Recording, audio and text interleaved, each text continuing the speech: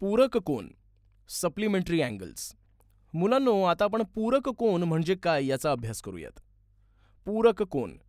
ज्या दोन कोनांच्या मापांची बेरीज एकशे ऐंशी अंश असते त्या दोन कोनांना परस्परांचे पूरक कोन असं म्हणतात.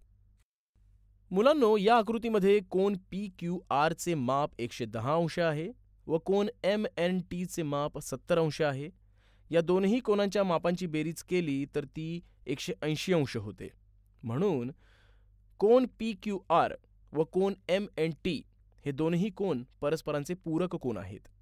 आता आपण दिलेल्या कोनाच्या पूरक कोनाचे माप कसे काढतात याचा अभ्यास करूया. उदाहरण एकशे पस्तीस अंश मापाच्या पूरक कोनाचं माप काढा. तर यासाठी पूरक कोनाचं माप आपण पी मानू.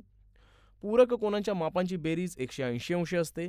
म्हणून एकशे पस्तीस अधिक पी बरोबर एकशे ऐंशी.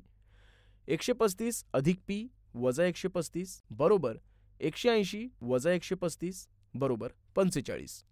दोनही बाजूंमधून एकशे पस्तीस वजा केले. म्हणून पी बरोबर पंचेचाळीस अंश. म्हणून एकशे पस्तीस अंश मापाच्या कोनाच्या पूरक कोनाचं माप हे पंचेचाळीस अंश आहे. उदाहरण एकशे दहा अंश मापाच्या कोनाच्या पूरक कोनाचं माप काढा. पूरक कोनाचं माप वाय मानू. म्हणून एकशे दहा अधिक वाय बरोबर एकशे ऐंशी एकशे दहा अधिक वाय वजा एकशे दहा बरोबर एकशे ऐंशी वजा एकशे दहा बरोबर सत्तर. दोन्ही बाजूंमधून एकशे दहा वजा केले. म्हणून वाय बरोबर सत्तर अंश तर एकशे दहा अंश मापाच्या कोनाच्या पूरक कोनाचं माप सत्तर अंश आहे.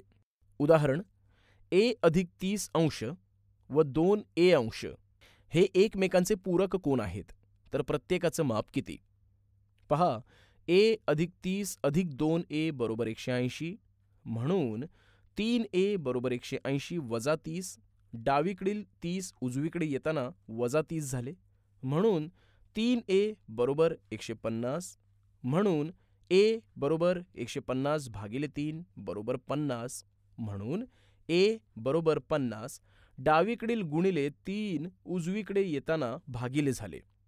आता आपल्याला एची किंमत पन्नास ही मिळाली आहे म्हणून एच्या जागी पन्नास ही किंमत घेऊन गणित सोडवू. म्हणून ए अधिक तीस बरोबर पन्नास अधिक तीस बरोबर ऐंशी अंश आणि दोन ए बरोबर दोन गुणिले पन्नास बरोबर शंभर अंश.